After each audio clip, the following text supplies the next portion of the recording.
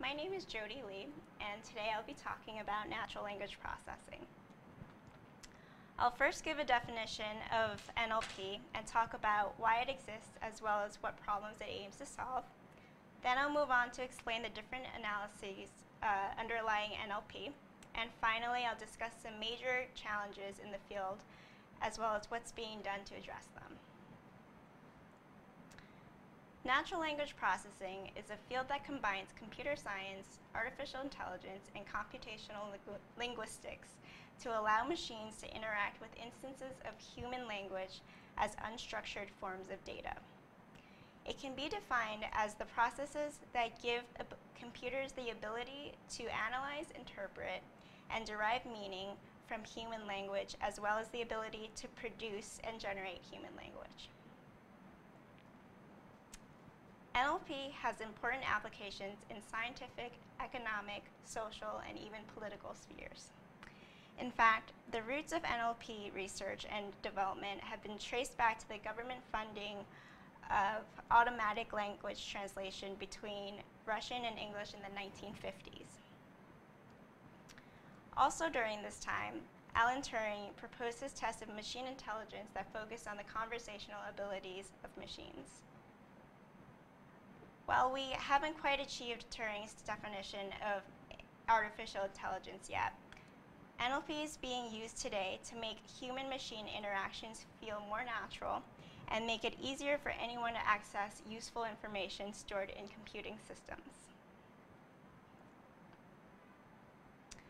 Whether or not we know it, most of us benefit from NLP applications every day, from using Siri to schedule a meeting to filtering spam out of your email, NLP systems are everywhere.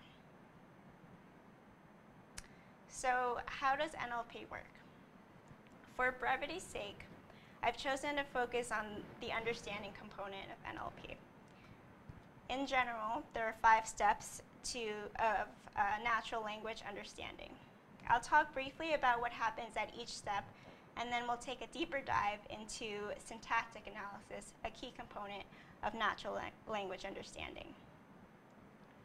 Lexical analysis is basically the process of identifying the structure of an input by breaking it down into meaningful chunks of text. So from paragraphs to sentences to phrases and finally words. Syntactic analysis is the process of identifying the grammatical nature of each word in order to determine the relationships it has with other words in a sentence.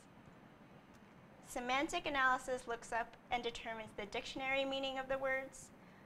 Discourse integration involves identifying the meaning of a sentence based on the meaning of the sentences that come before and after it. And finally, pragmatic analysis determines the context of a particular sentence and how that contributes to its meaning. As you can see, Natural language understanding involves a lot more than just recognizing a string of text.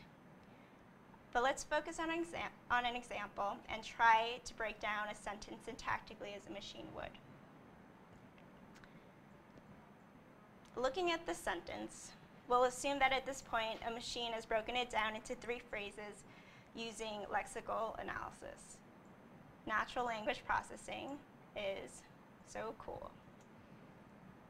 It then parses through each word, assigning it a part of speech tag, which describes the word's syntactic function. This is where the machine figures out if a word is a noun, what tense it's in, uh, etc. Once that's completed, the machine determines the syntactic relationships between the words, finding the root, subject, and object of the sentence. So following this process, a machine can then incorporate the remaining steps of natural language understanding, determine the actual meaning of the sentence, and possibly perform something like sentiment analysis to determine that the speaker of, the, of this statement views NLP positively. So that was a pretty simple sentence to parse. But there are, of course, many aspects of language that can make NLP less straightforward and very challenging. Ambiguity is one of the biggest challenges for NLP. For example, the same word can have different meanings. The same sentence can have different interpretations. and the same possessive pronoun can be used to refer to different things in a sentence.